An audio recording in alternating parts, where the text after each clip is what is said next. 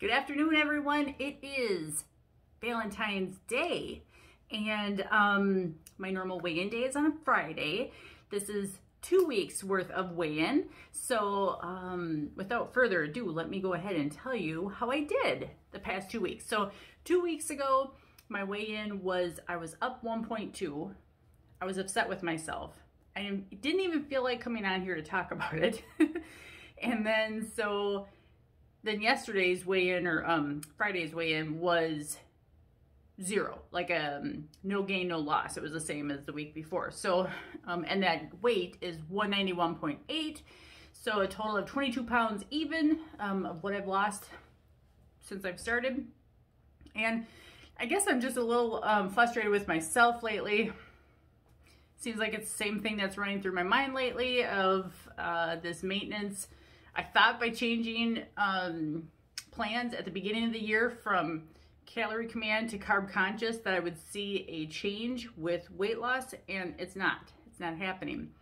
Now I've been um, consistently tracking more often over the past two weeks than I normally do, so that's a good thing.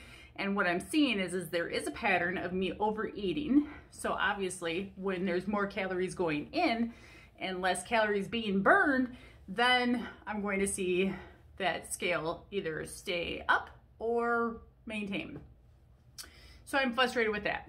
Um, what I'm also noticing is because with the iTrackBites app, I can have a second metric that I'm um, tracking and I've chosen it to track my calorie intake as well. So um, I've been looking at the calorie side of my tracker a little bit more closely than I have been in the past since I started at the beginning of the year.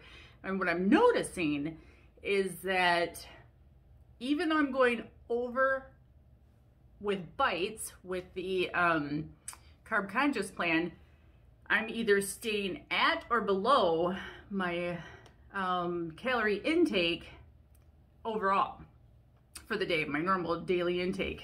And so more times than not, I'm seeing that I'm below my calories and so that's kind of like throwing me off. I'm thinking that I was more success more successful on calorie command because I was staying within the amount of calories that I was supposed to be eating and um, when it was time to lose, my body was losing like you know, really what I wanted to to lose weight. But now I think I'm not eating enough calories. And I used to think to myself when people would say this, I'm like, "Oh, yeah, right." But no, for real. Like, I think I'm not eating enough calories and it's kind of, um, oh, it's, it's just kind of more prevalent now that I've been keeping more of a, um, being more mindful of watching the calories that are going in throughout the day. And so I think I'm going to give it one more week of keeping the carb conscious plan, but I'm going to not focus on my bites, my daily bites, but I'm going to focus on the calories kind of going back to watching the calories. And if I can, even if I'm over on bites, like by 10 or 15 bites for the day, but I'm under my calorie goal for the day, then I'm going, I'm going to eat more closer to my calorie goal for the next seven days and less focused on the bites. If I see a loss this coming week, then I'm going to switch back to calorie command. So I've always said that you know, give it at least two weeks, give it at least two months. Um, and now I've, I've given it almost two months on this plan. So um, that's why I just kind of want to wait, give it one more week, you know, and kind of see, is it more to do with the calories and less to do with the bites or what? Because I just feel as though I could be, like I said, under eating. So that's the big thing as far as where I'm seeing my weight lately. Secondly, this is like the frigidest, coldest snap of cold weather that we've had here in Wisconsin in a long time. And so we are dealing with, currently the temp today is 19 degrees below zero and the wind chill is 40 degrees below zero. So to go outside longer than 10 minutes is like super hyper hypothermia and could cause your skin to freeze on contact. And so it's so dangerous to even be outdoors. I have to stay by my door when I'm letting my dog outside because I just don't want him to get hurt. um, by being out there longer than he should. So, um, walking outdoors is out of the question. And that is so hard for me because it's such a, a, a, goal for me to try to do each day. And yes, I have my treadmill and I have my gym membership, but again, I don't want to leave my house. And my treadmill is only so great. It's just such a loud machine. I'm, I'm thinking about just kind of selling it or getting rid of it. Um, so yeah, that's kind of where I'm at with exercise. I know that once I get to the gym, like if I can get my body there, then I'll work out. Absolutely no problem. But it's just mentally getting myself um, organized and ready to go to leave the house to go to the gym to work out. That's another hard thing for me. Plus, we are in the dead of playoffs right now with our family business. And so normally if I don't help out during the week with my family business, I have more time to work out at the gym. But like for instance, this past week, I was committed to two or three games after work. So after my full-time job as a nurse, that I'm doing producing work for our family business. And so that takes away from my time from going to the gym and my, and my desire to. So, um, I'll see what the schedule shows for this coming week as far as what games my husband needs me to work. And then I will definitely make a plan in my planner to work on getting to the gym. And I'll show you the planner. I think I showed it to you. It was my Christmas gift. Hold on. So this is the planner right here.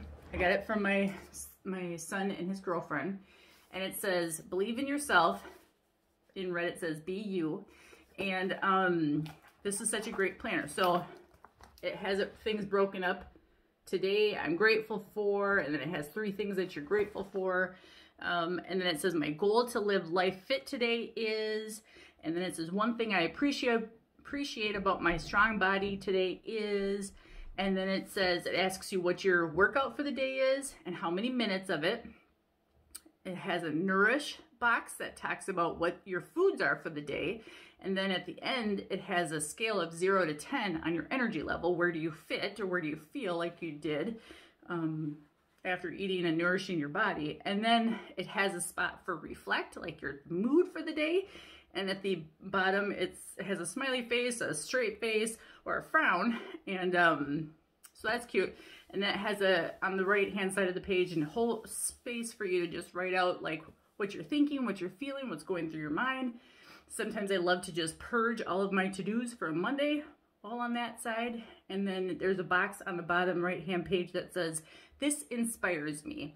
And it has the just an open space for you to just write down an example of what inspires you. And then there's a quote or a fit tip or something that's motivational on the bottom left-hand side of the page. So this is a great tool. So I want to be able to use that more, feel as though I have more control over my days. Otherwise, I sit in my house, I'll burn a fire, or I'll be under a blanket, and I'll Netflix the whole night. My British baking show is my favorite show on my Netflix right now. And, um, or I'll sit and listen to my book on tape for hours. So um, those are things that I, a tool that I want to use and get more familiar with and more conscious and, and more of an effort to do. Also, meal planning. So for this week, my meals are homemade pizza with the skinny dough recipe.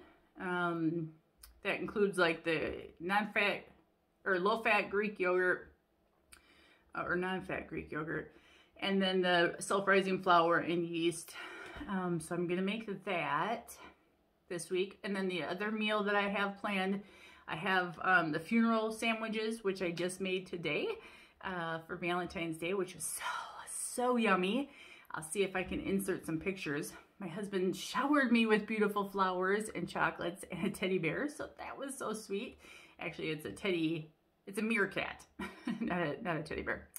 Um, stuffed animal, I should say. And then, um, What's another meal I have this? Oh, uh, of course, our staple, which we love so much, beef stroganoff. I'm trying to think what other meal we have. I think I have like the, the chicken, the Chick-fil-A from Aldi, the, the chicken breast patties. um, the knockoff of that. Of course, I have lots of ingredients to make other meals if I want to, if those things don't sing to me this week. And yeah, I've been very conscious to get more fruit from the grocery store and to eat more fruit and be more mindful of filling up on the, the lower calorie or zero bite foods.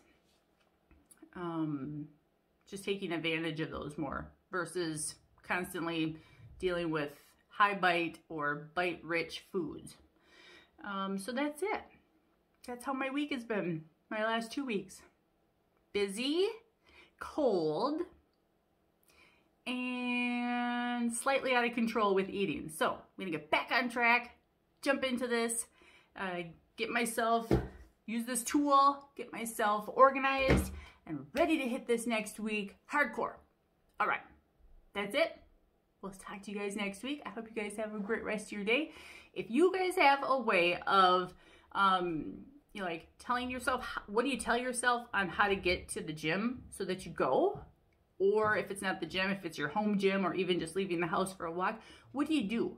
What kind of discipline, what kind of things do you tell yourself to encourage yourself and motivate yourself to do it?